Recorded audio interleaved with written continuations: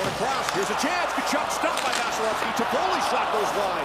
Did a good job to settle that down and get a shot away. Might have been tipped by Joseph as it missed the net. Here's Gaudreau now to the circle. Takes a look up high. Vasilevskiy saved. Toffoli can't shoot. Banged in by Gaudreau, who scores on the power play.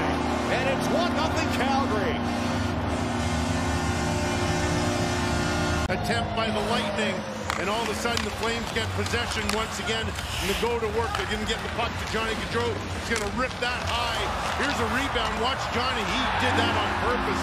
No question about it. Recognize that Vasilevskiy was off to the side and just throw it off the back of his pants and all of a sudden the Flames have a 1-0 lead, but that was just a really smart heads-up play earlier on the power play by Johnny, covering up by either the other team lets him off the hook or great goaltending by Vasilevskiy. Good job by Gaudreau to keep the play on side as he climbed the ladder. Lindholm long shot turned away by Vasilevskiy.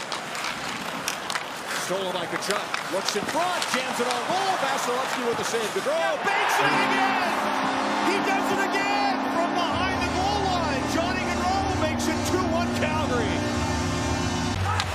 Another period and a little bit more.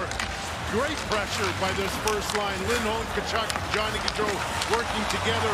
Watch Johnny from behind the goal line once again. Recognizes there's not much room, but the goaltender isn't tight against the post and throws it right off the, not sure if it's a pants again or the arm of Vasilevskiy. But if you don't seal that post off. Here's Corey Perry from behind the net. Push to the boards by Andersson. Tkachuk gets the puck quickly across to Gaudreau. Three flames break out. Andersson on the rush with Gaudreau and Lindholm. Here's Andersson in deep for Lindholm. Gaudreau scores! Hat trick Johnny Gaudreau!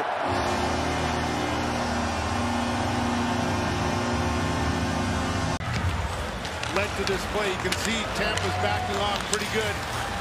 And Rasmus Andersson joins the play, gets it quickly behind the net to Lindholm, and Johnny just sort of finds a soft spot. Not the best defensive coverage when you're talking about the top line for the Flames, but I give Rasmus Andersson credit for coming down and off that point position, keeping that puck alive, getting it down low to Lindholm. Watch the vision by Lindholm. That's a pretty easy play.